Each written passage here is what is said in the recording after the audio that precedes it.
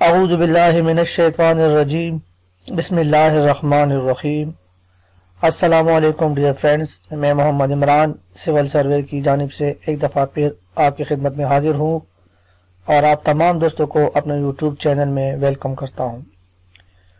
Dear friend जिन दोस्तों ने अभी तक मेरे चैनल को सब्सक्राइब नहीं किया प्लीज़ वो चैनल को सब्सक्राइब करें वीडियोस को लाइक करें और अपने दोस्तों के साथ इन वीडियोस को शेयर करें।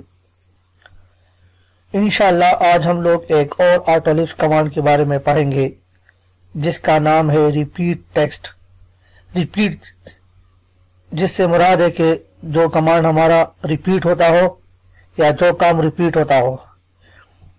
तो इससे ये फ़ायदा होगा हमें कि, फॉर एग्ज़ाम्पल, हमने एक बहुत बड़ी सोसाइटी बनाई है, और उसमें हमने पाँच मल्ले के, दस मल्ले के, कनाल के, चार मल्ले के एक एक ब्लॉक बनाए हुए हैं। हज़ारों की तादाद में, सैकड़ों की तादाद में हमारे प्लाट्स हैं। तो अभी क्लाइंट को हमने वो प्रोजेक्ट सबमिट कराया है, लेकिन फिर क्लाइंट ने क्या, कहा है कि अब जो पाँच मरले प्लाट है, इसको आप चार मरले में तकसीम करें या जो पाँच जो दस मरले वाले प्लाट इसको दो में तकसीम करके पाँच पाँच मरले के प्लाट बनाए। तो ज़ाहिर बात है, हमने उधर राइटिंग की होती है, हमने लिखा होता है कि पाँच मरले के, ये छह मरले के, ये दस मरले के हर प्लाट पे लिखा हुआ होता है।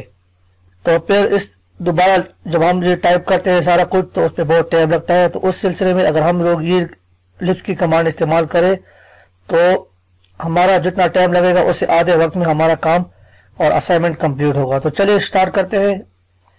ये मैंने एक ड्राइंग खोली है फर्जी ड्राइंग है, मेरे पास इस वक्त कोई प्लाट्स का कोई लेआउट नहीं है तो इसलिए मैं क्रॉस सेक्शन पे ही आप लोगों को समझाने की कोशिश करता हूँ।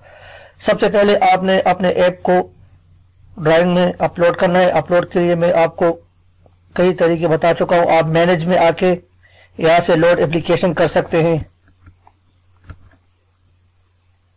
यहाँ से। और इसके अलावा यहाँ पे आप लिख कर भी कर सकते हैं। और इसके अलावा आप लोग यहाँ टूल में आके ऑटोलिस्ट से भी कर सकते हैं।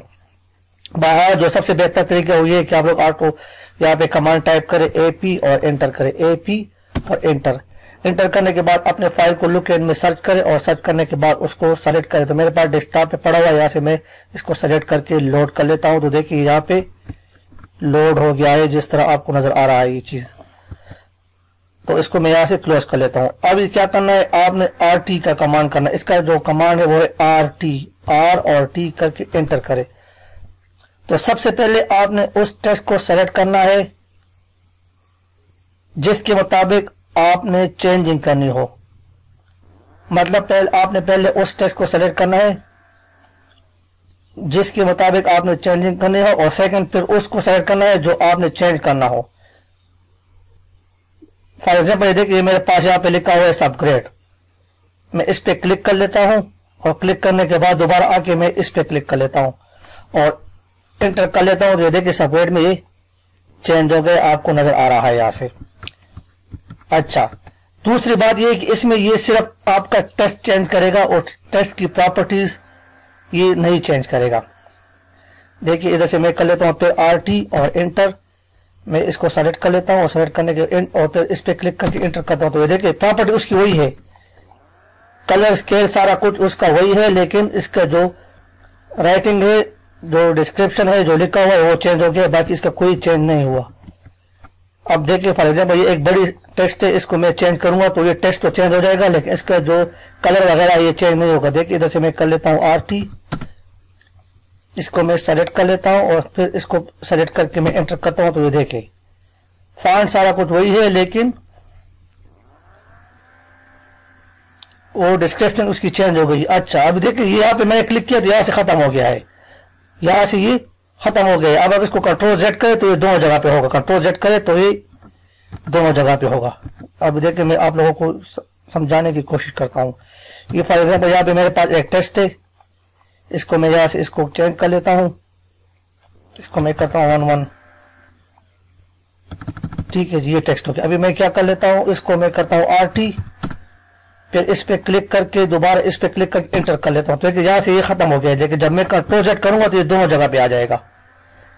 इधर भी होगा और इधर भी होगा। अगर आपको दोनों जगह पे चाहिए तो दोनों जगह पे रख सकते हैं। इसके अलावा अगर आप इस पर डबल क्लिक करेंगे तो ये देखें। ये मैं इसको जैसे कंट्रोल कर करता हूँ। इसको मैं दोबारा से चेंज कर लेता हूँ और मैं आर टी कर लेता हूँ और फिर एक दफ़ा क्लिक फिर दो, दो दफ़ा क्लिक अभी इसको मैं क्लिक करके एंटर करता हूँ तो फिर भी ये दोनों जगह पे रहेगा। हमारा जो सोर्स ऑब्जेक्ट होगा वो डिलीट नहीं होगा। तो फ्रेंड ये एक छोटा सा लिस्ट पे उम्मीद करता हूँ कि आप लोगों का कंसेप्ट इस बारे में क्लियर हुआ होगा कि हम इसको किस चीज़ के लिए इस्तेमाल कर सकते हैं और इसका तरीका क्या है। आपने आर टी करना है। पहले सोर्स ऑब्जेक्ट को सेलेक्ट करना है राइटिंग को टेक्स्ट को और उसके बाद फिर जिसको चेंज करना उसको सेलेक्ट करके एंटर करना है तो वो चेंज होगा। अगर आप डबल सेलेक्ट करेंगे तो फिर दोनों रहेंगे, कोई चेंज नहीं होगा। आर टी डबल क्लिक करें, एक दफ़ा क्लिक दो दफ़ा क्लिक और यहाँ से इंटर करें तो ये दोनों जगह पे रहेगा। तो ये छोटी सी लिप से मैंने सोचा कि आप लोगों के साथ इसको शेयर करूँ। उम्मीद करता हूँ कि आप लोगों का पसंद आया होगा, और इससे आप लोगों के काम में मजीद आसानी पैदा होगी। इंशाल्लाह इस वीडियो में फिर मिलते हैं। किसी और टॉपिक के साथ अपने दुआ में याद रखिए। थैंक्स फॉर वॉचिंग अल्लाह हाफिज़।